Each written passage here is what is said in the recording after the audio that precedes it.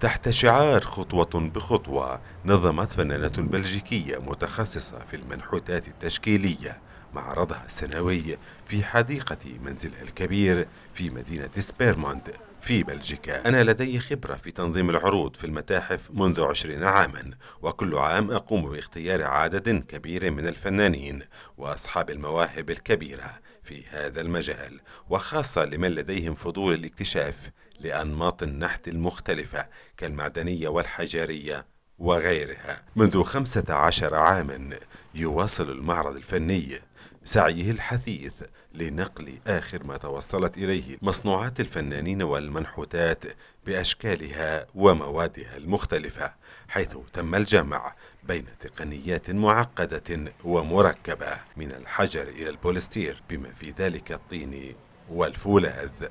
أنا من بين الفنانين الذين تم اختيارهم لعرض ما أراه شيء من الإبداع والموهبة. أنا لدي نشاط مميز من خلال مساهمتي الممتدة منذ عامين ولدي الكثير من القطع الفنية التي أستطيع المشاركة بها هنا ولدي فرصة للتقرب من الجمهور بها. يحظى المكان باهتمام كبير من قبل الزوار ورحلة اكتشافهم لجوانب المعرض المتعددة وذلك من خلال السير في الممرات والساحات الخضراء التي تتخللها إنجازات تبدو في أنماط واضحة الاختلاف والأشكال.